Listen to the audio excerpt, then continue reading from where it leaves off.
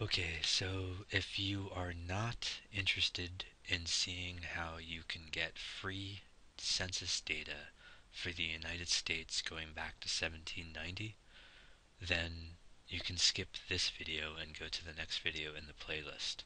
For the rest of you, here we go. So let's go and select the data.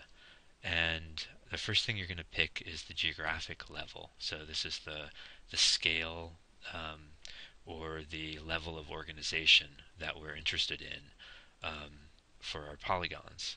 And so I'm going to pick, and it looks like it's remembering that I was just on here trying this out, but I'm going to pick census tract, and that's going to be our level of organization, and say submit.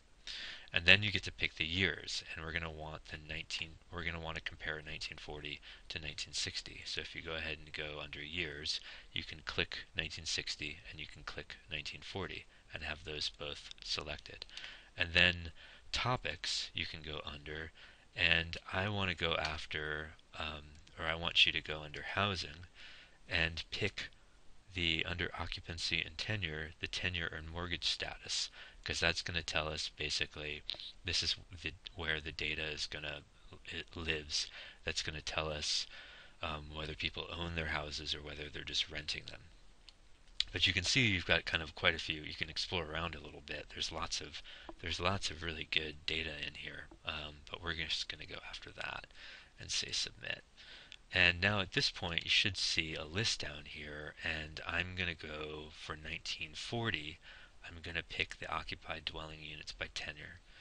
And then under 19, if I go down a little bit, um, uh, did I not select it already? Okay, so I want the equivalent of this for 1960.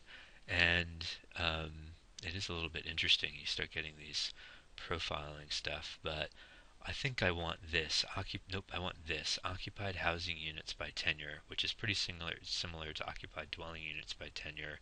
It's telling me this one, which I'm going to just check, is telling me the occupied housing units. Nope, I don't want with non-white. I just want this guy.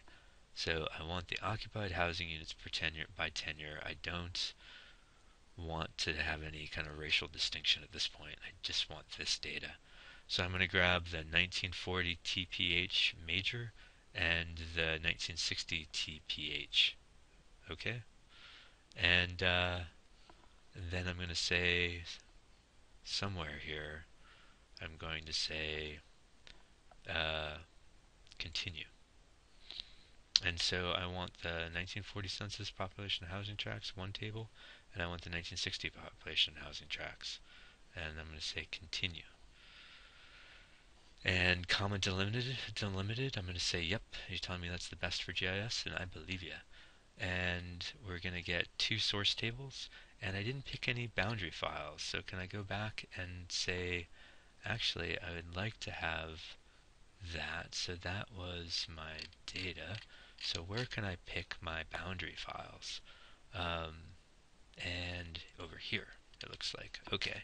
So I've got the 1940 census tract and the 1960 census tract the basis being 2000 versus 2008 and I'm going to say, okay, I think what I'd like is the 1940 and the 1960 based on the 2008 Tiger Line rather than the 2000 Tiger Line.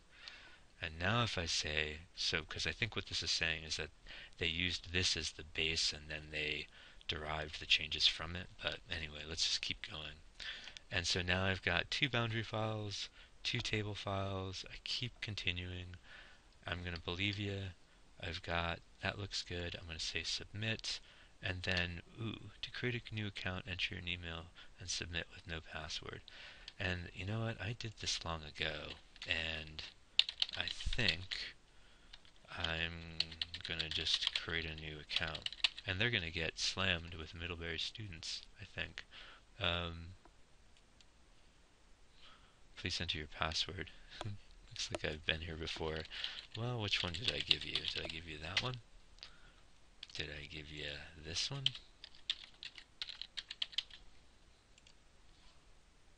Ah, that's the one I gave you. Um, so, yep, yep, yep, yep. Mm -mm -mm.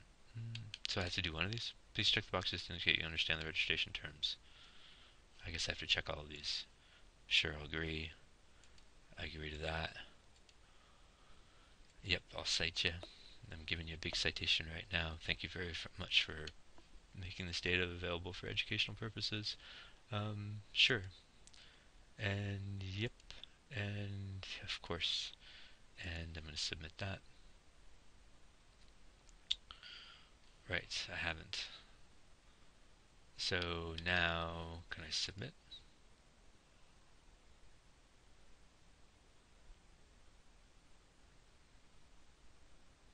And do I just wait? Okay, so it gave me an email message, and uh, I don't think I'm going to put my email inbox on YouTube here, so hold on a sec. Okay, so it gave me a link that went to this, and now I think if I click this, it's going to download the shape data, and if I click this, it's going to download the table data. And it looks like it's going to take a little while, so I'm going to hit pause again.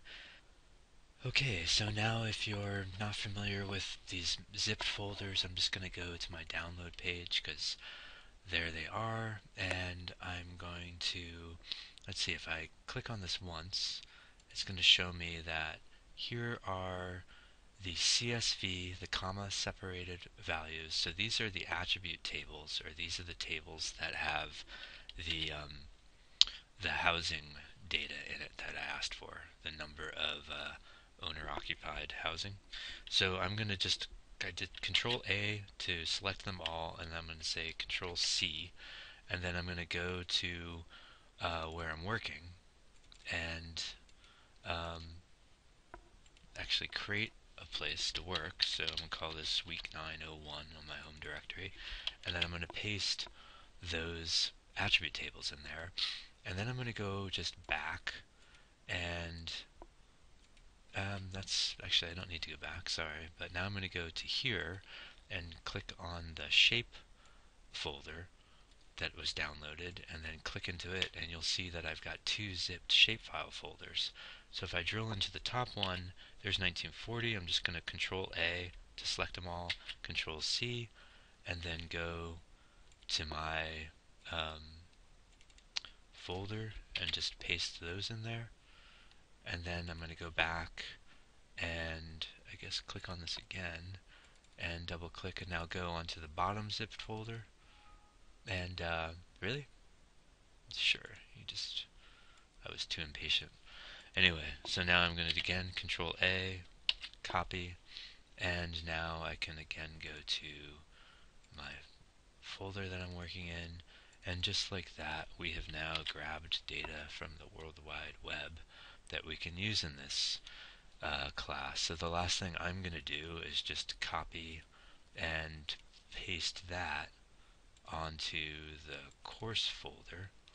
You guys should not try to do this, but now We've got those shapefiles there for anyone who didn't follow along with this video, or if you want to just grab them from here, if you just watch the video without clicking along, that's totally fine. But at this point, uh, we've got our data, so we just need to do one more step before we can really start using it.